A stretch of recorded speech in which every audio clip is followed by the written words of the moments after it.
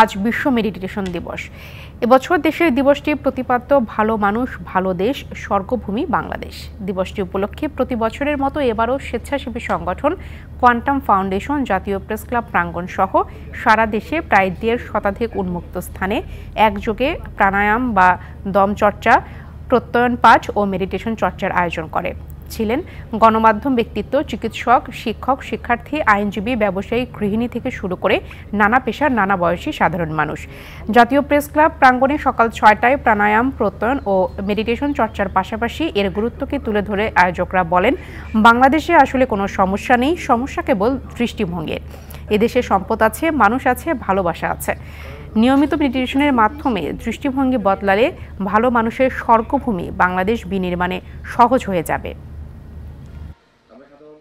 আমার ঘাড়ে ব্যথা ছিল। প্রচণ্ড ব্যথা মানে আমি এই ব্যথাটা এত ব্যথা ছিল যে আমি সহ্য করতে পারতাম না। দু হাজার আট সালে ঘাড়ের ব্যথাটা আমার উপশম হয়েছে। ফিজিক্যাল একটা ক্রাইসিস থেকে আমি আল্লাহ রহমতে ওভারকাম করতে পেরেছি সেই কোয়ান্টাম থেকে।